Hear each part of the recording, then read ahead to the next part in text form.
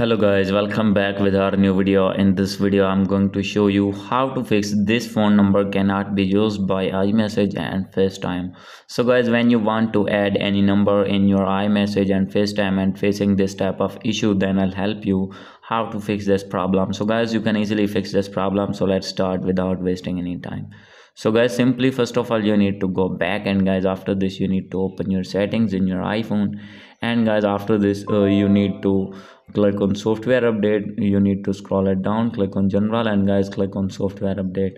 And guys make sure that you have updated version of ios 17 so guys simply you need to click on update now. And guys after doing this you need to go back and guys uh, secondly scroll it down and guys click on date and time and make sure that your date and time is set automatically. And guys after doing this you need to go back.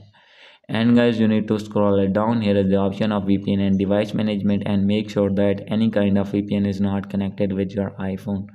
And guys after doing this you need to go back and guys here is the option of transfer and reset. iphone simply click on it. And guys after this you need to click on reset. And guys you need to reset all settings only. And guys after doing this your problem will be fixed.